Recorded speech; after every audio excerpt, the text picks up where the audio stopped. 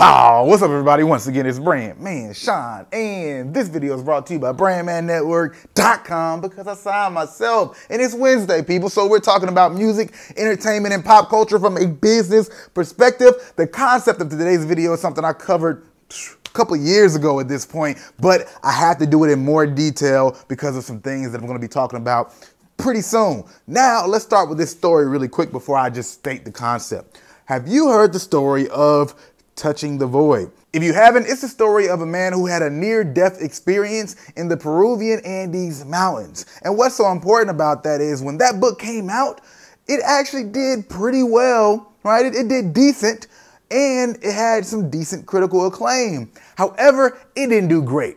But the important thing to note about this is 10 years later, a decade later, a book called Into Thin Air came out. And when that book came out, right, with a bigger platform and bigger push, Touching the Void actually started to do better. And then, next thing you know, people noticed it, right? The sellers noticed it and they started to put Touching the Void next to Into Thin Air right? They start placing the book. Just like, let's say, if you were in a checkout aisle and you'll see those magazines that are right there. So let's say wherever that magazine is, they put this other magazine next to it. And then they watch those sales rise, rise, and rise until eventually Touching the Void, the book that had dropped and didn't do all that great.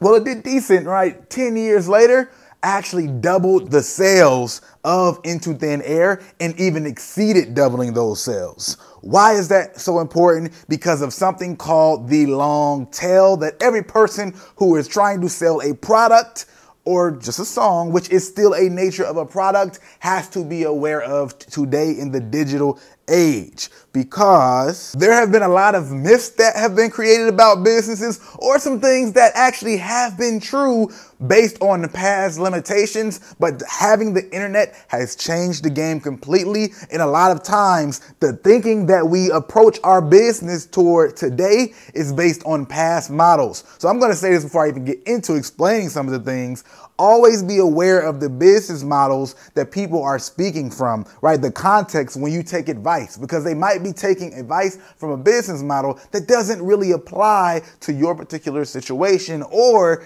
they might be speaking from that situation and you should analyze it from that particular situation, but then say, hey, okay, I might not fit that model, but can I find a model that works for me? Now, understanding the long tail is simply understanding this we're in an era where just having a hit song or just having a hit product, right, doesn't mean that you cannot make money. Why? Because distribution has lowered in so many ways. So, whereas you might have had to pay for all this distribution to get your product to people, let's just say, you know, music, obviously. And you might have had to get CDs pressed and all these things back in the day. Now you can just put it online. It's cheaper. So since the price is cheaper to even get it to people, because it might not be a hit song, but it can get some profit, even if you spent $10 and only made $10. What's important about that part is, though, are a few things that are completely going to change the way that you not only think about how you can create a business model, but just how you perceive and understand the quality of music as you know it. And of course, this applies all around. So what I mean by quality, let's get into that part before we get into the mathematics of how it breaks down business model wise. Well, one of the things that people have assumed oftentimes is the masses love this horrible, superficial type of content, right? The, the hit movies, ah, they're superficial, they're not deep. Or the hit songs, they're all about the same subjects, they're not deep. But that is not entirely so.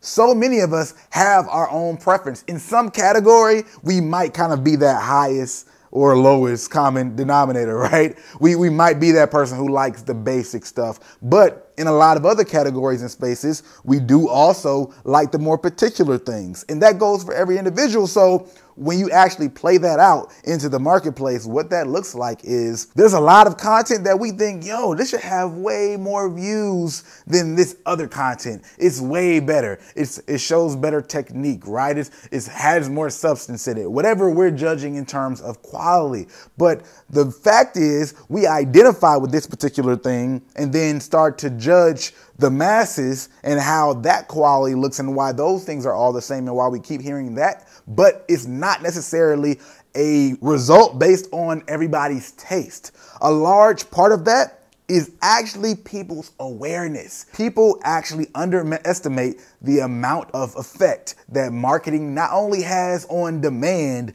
but people's taste. And what I mean by that is if you're in a hit based marketplace, which is what things have been prior to the internet because the limitations of physical space, right? To make the most amount of money as a business, you need the hits, right? You can't, you don't have the space to have a lot of content that doesn't really perform highly. And of course, as a business, what you're going to do is two things. One, try to find the product that's going to be able to reach the broadest audience and two, try to market as much as possible to this broadest audience to one, actually let them know this thing exists, and two, sway them that this thing is amazing. So a lot of what you see is based on the fact that businesses are really trying to go through that model. So when we look at a record label, a record label is pushing those things because they're trying to maximize dollars and they believe that that's going to create the most amount of income. A proof and example of this is basically when you hear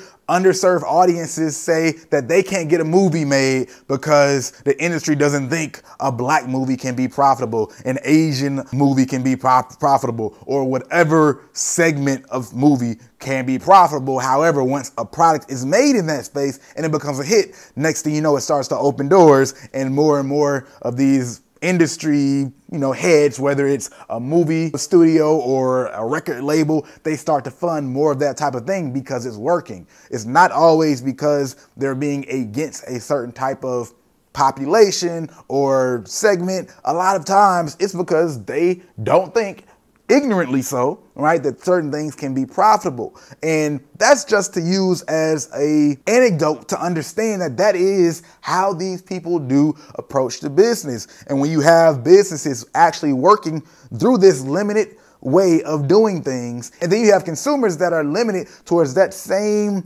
way of doing things, then people end up thinking that what the businesses are pushing to make the most money off of are actually based on the taste of most of the population.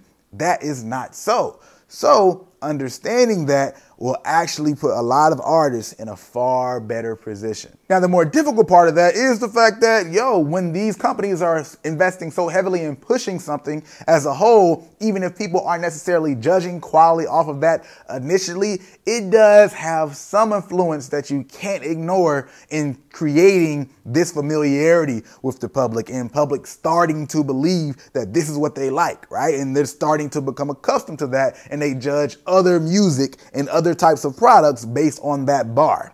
But it doesn't, again, mean that's the end all be all for quality, which means your product and your music can have some sort of space. So this is where we go into part two, which is understanding that business model and just looking at straight up economics, right? Because in part two, we have to understand that once again, with the internet, there's unlimited shelf space. When you're in a grocery store, you only can put so many products in that space. When you're in a record store, you can only put so many records in that space, right? You can put so many CDs in, in Walmart. But we're on the internet, we can just keep throwing, throwing, throwing more product if it's a digital product, like more content, more movies and songs into the internet. And there's a very little low eh, overhead to actually maintain it and to keep it there, where there's a huge price to keeping physical inventory in the real world. So, with understanding that though, now you can look at the fact that the long tail has opened up. Those hits that people currently looked at to make the most money actually does not outweigh the long tail. Now, from a certain business model, it might make sense to keep focusing on hits, focusing on hits, but there's actually a bigger marketplace when we actually look at the independent marketplace when we actually look at independent movies and so many of these other types of niche content that might not be the most common denominator when we're trying to meet the masses, but literally by income or the amount of money that it can generate, it's a bigger marketplace and it reaches more people. It's just harder sometimes to figure out because you have to find the niche. But now, once again, because of the internet, you can look at your own music in that model. Because just like how we talked about the book and how that new book, that second book, Into Thin Air, actually was a completely different author, but it still generated sales for the prior author of Touching the Void because it brought interest into that whole category.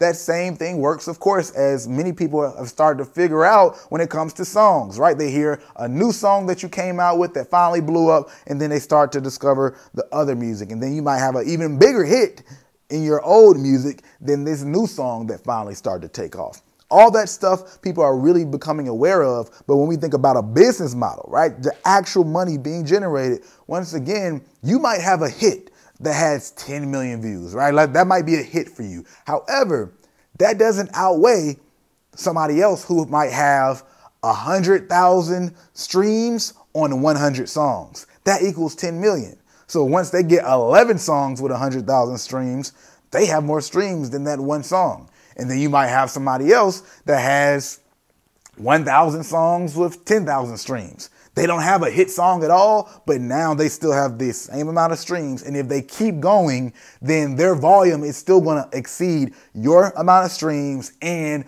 likely your profit, depending on how they build their model out, right?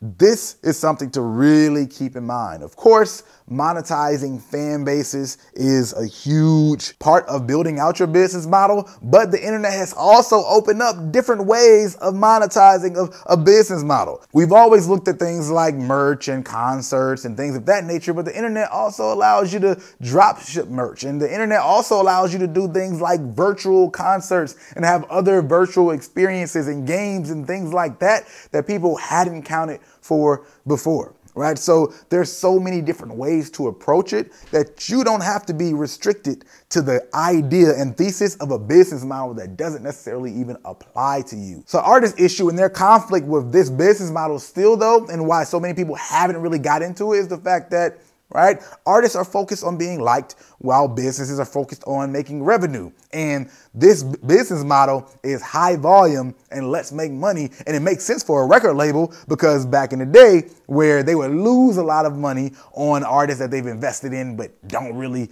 still hit, now well, they can make a lot of money on the long tail and the short end, short end when we're talking about that hit making artist. But for an artist, they're thinking, I want to be the hit making artist. And it's almost this emotional connection or this emotional idea based on the dream that we see of, of, becoming a big artist that actually is the conflict with the business model, which is more so, hey, my music is commoditized.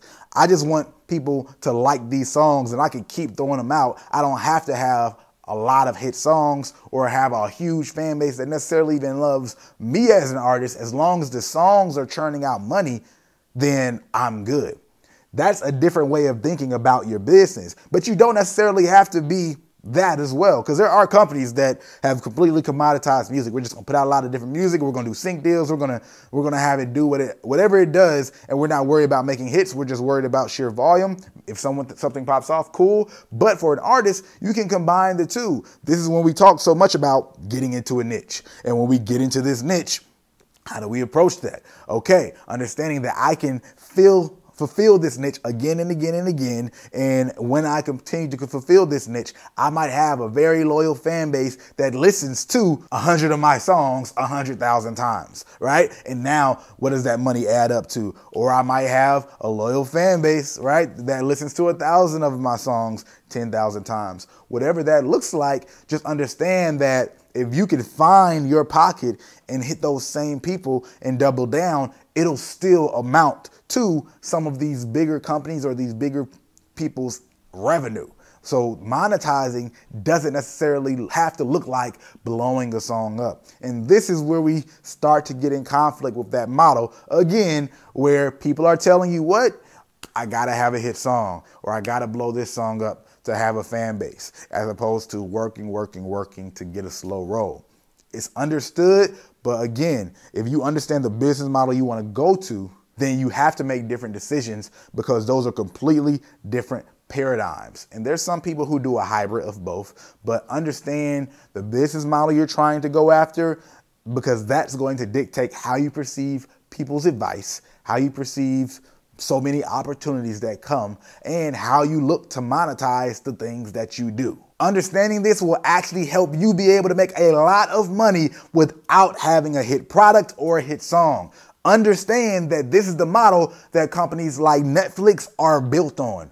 That's why they buy so many TV shows and series. And if you check it out, you'll notice there's a lot of content that probably isn't that great. There's a lot of bad movies on Netflix, but they're paying money for them. Why? Because they know the turn of profit doesn't have to be huge if I have a high volume. And now all I need is more storage, with, uh, which is far cheaper than having to pay for shelf space, which is having to you know create this opportunity cost. If I have this thing that isn't turning a good profit in the shelf shelf space, then I don't have the opportunity for this other product to be there that could turn a far bigger profit. These companies do not work like that. You can work like these companies you don't have to work on the old record label model. You don't have to worry about first week sales. You don't have to worry about even a lot of certain politics that come with approaching certain models and so many other traditional paths that people paint out because the long tail and the internet has opened up these possibilities for artists. You, you're able to find this niche. So again, for an artist that might be in conflict with certain types of decisions and thinking, I understand. But for somebody who isn't an artist, especially, right, the person who's running the record label, that might be a better decision. If you're trying to build up an, an indie label, you, this is something to look at. As if you're managing, this is something to look at and considering. It should be easier to flip into some of this mentality in some way. But understand, of course, there's other people who work on a different paradigm. TDE, right, Top Dog Entertainment, they definitely worry about quality control, just like, well, actually, quality control music group. They do the exact same thing. When you look at the Migos and Lil Baby and Lil Yachty versus Kendrick Lamar, SZA, Schoolboy Q, it's less about a high volume, curating slower product we build and then we put out product and get a higher margin off of each artist versus let's do numbers.